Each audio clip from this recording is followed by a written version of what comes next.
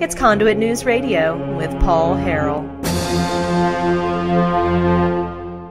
870-275-9799 is the telephone number if you would like to be a part of the program today. Welcome back to the program. We've got the president of the Family Council, familycouncil.org. We have Mr. Jerry Cox is with us. Jerry, welcome and good morning to you, sir. Well, good morning to you guys. It's always a pleasure to be on the radio with you. Yes, sir. I completely agree with you. Uh, it's a, always a, a, pleasure to have you on, sir. Um, I, I, just wanted to have you on talk, talk about two things. The first thing is the status of Arkansas's um, abortion law when it comes to what the, the judge has done. You know, it was a big victory when the Supreme Court did not – take up Arkansas's law that requires a you know a, a, a you have a contracting physician. Um, uh, you know, if you're going to have a medically induced abortion, talk. Give us an update on where we are with that. Well, that case is on appeal once again to the Eighth Circuit because um, Planned Parenthood came back and went back to Kristine Baker, the the federal judge here in town, and of course she's been always very very favorable to Planned Parenthood uh, being very pro-choice, and so she found another reason, uh, so to speak, to strike down this good law that really just requires um, these doctors who do these drug-induced abortions to either have admitting privileges at a local hospital or have a contract with someone who does. I think most people think that their doctor has admitting privileges at a local hospital, that they can check them into a hospital. And the truth is, most do. But these abortion doctors don't. And so if these women have complications now, the way Judge Baker has ruled, then they have to go check themselves into the emergency room. And a doctor there sees them who has no idea what their medical history is, what medicines they're allergic to, or even why they're having all these issues. And so this is about the safety of women, and you would think that Judge Baker, being a woman herself, would at least be sympathetic to that. But apparently not. So now Leslie Rutledge, our Attorney General, has thankfully appealed this to the Eighth Circuit, and the Eighth Circuit last time around slapped Judge Baker's hand, and I kind of think they're going to do the same thing this time but we'll wait and see. But what it does is it allows Planned Parenthood to keep on doing abortions in the meantime. Yeah, and that's the that's certainly the uh, the tragic part in all of this. Um, are you are you pleased so far with the idea of a Supreme Court Justice Brett Kavanaugh, uh, the the president yesterday nominating him? If he gets through the confirmation process, I was just saying last hour how optimistic I am at the concept of uh, you know, a, a pro-life law passing that gets challenged all the way to the Supreme Court, and Roe versus Wade possibly being overturned. What are your thoughts on that? Well, I think the possibility of Roe being overturned is probably better or about to be better now, maybe than at any time since Roe was passed. And so uh, that doesn't mean that it's a slam dunk.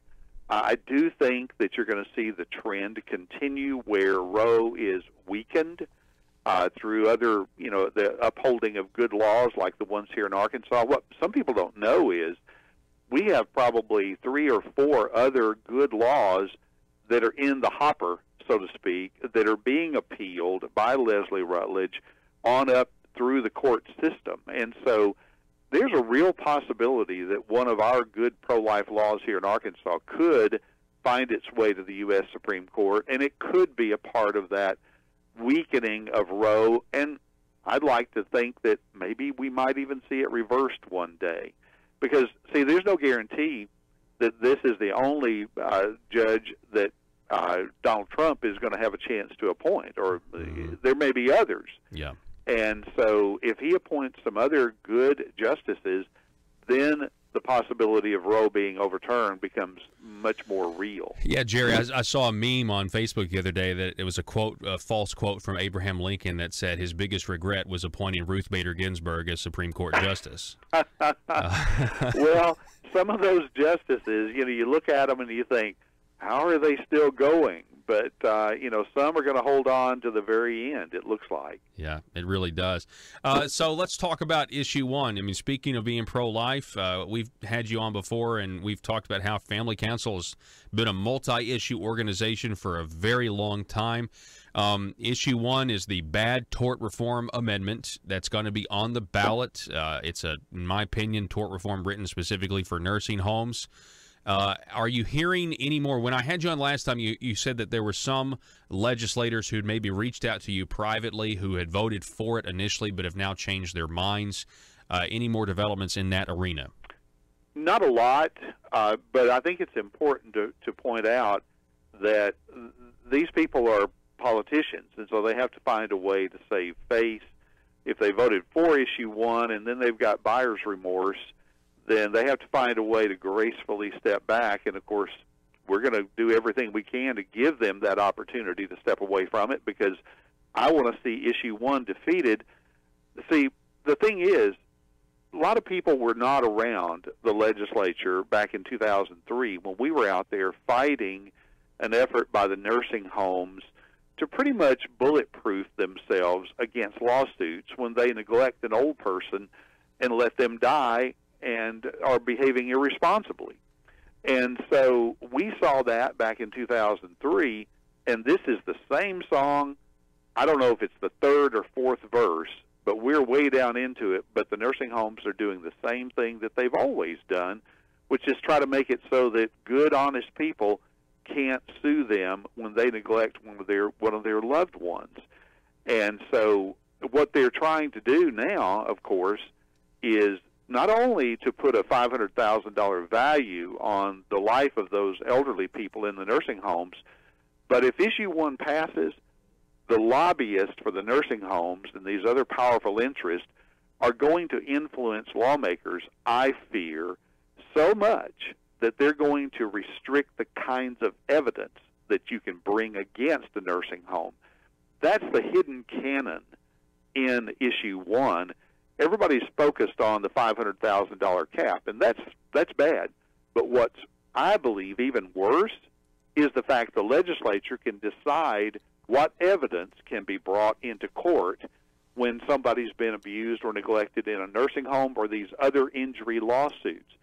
So if you can't bring evidence, you have no case. Mm-hmm. And a lawyer won't take your case because they know they they're going to lose and they can't get paid. And so the whole idea then of accountability for these nursing homes collapses. We just heard of a New Jersey-based nursing home who owns a couple of our nursing home owner who owns two nursing homes here in Arkansas.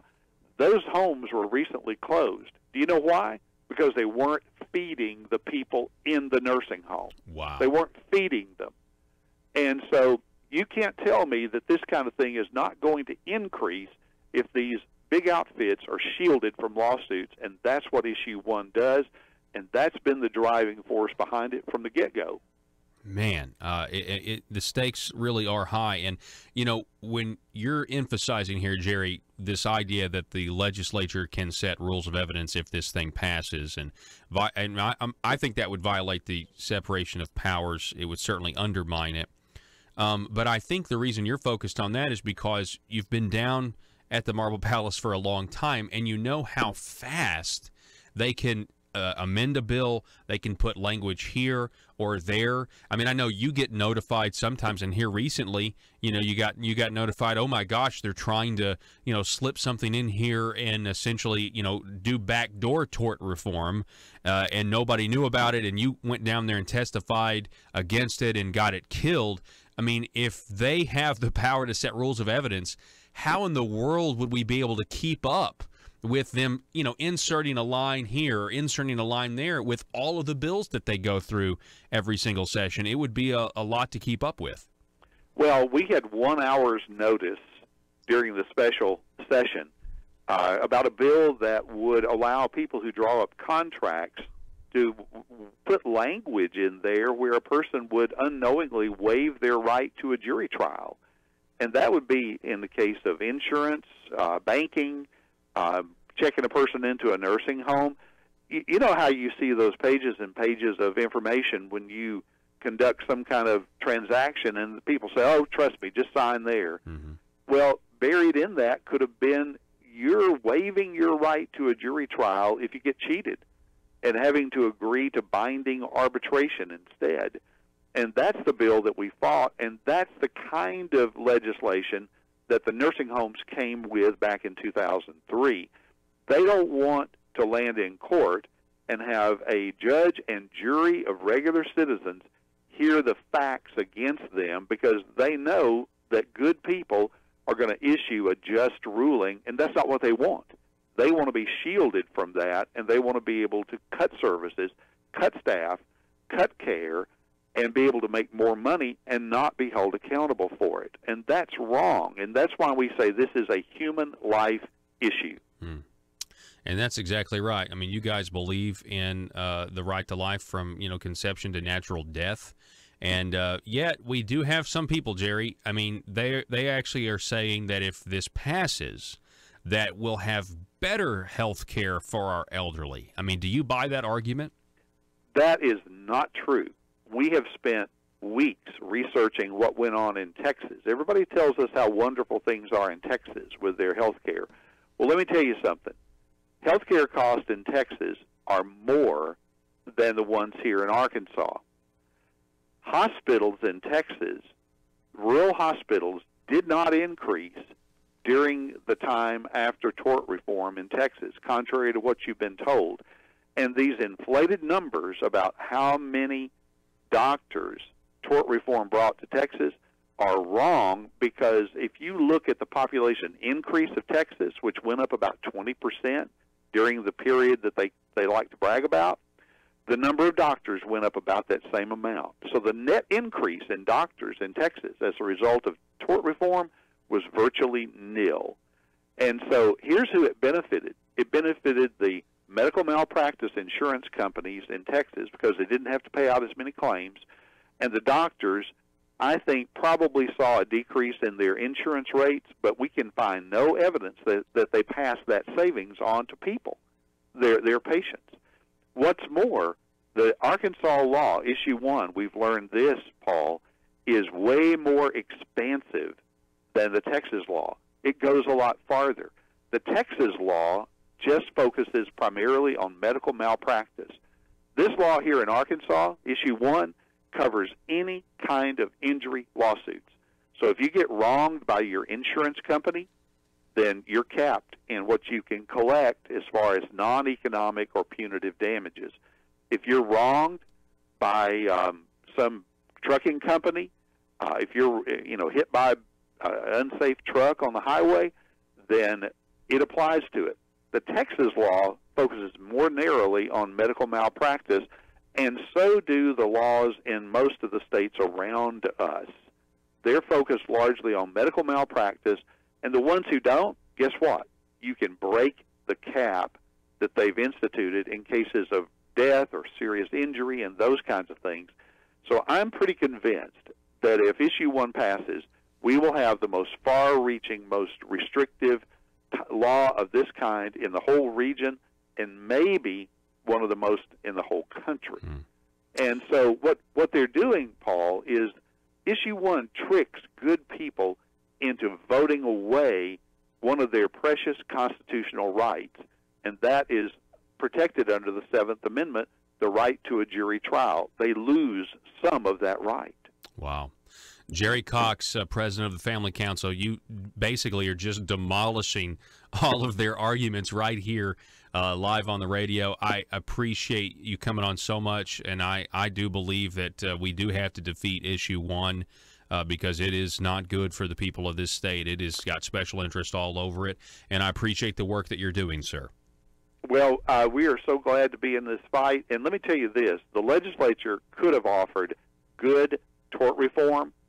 We were, we were for some other measures out there, but they would have none of it. They said, nope, we're going to do this one, and they just plowed ahead. And so they've left us no choice now but to oppose it. They could have given the people something good to vote on, but they didn't because they were so heavily influenced, I believe, by the special interest groups. Hmm.